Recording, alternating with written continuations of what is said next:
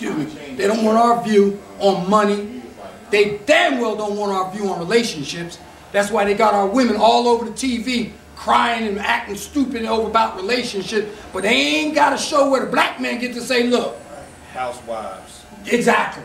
They ain't got no Atlanta house Men. men, Right. because we give them a whole different view. Yeah, right. Because we are not Europeans, and you should stop trying to make us act like Europeans and make our women think we should act European. So you're saying they, they should It's a different culture. So you're saying assimilation. So you're saying they should. So you're saying assimilation. So you're saying the assimilation is, is very bad. Yes. That that's a big problem. Now, what about ethnocentrism? As far as I'm thinking, there's the race is superior. I mean, you already claimed that, so I don't really have to go back You into. know,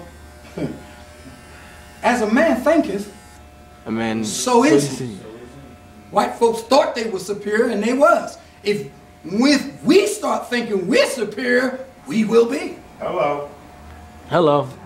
But you can't think you're superior When you if have you look in the mirror and you hate what you You see. see, self-hatred. Self-hatred. We're gonna keep going back there. Cause that's the problem.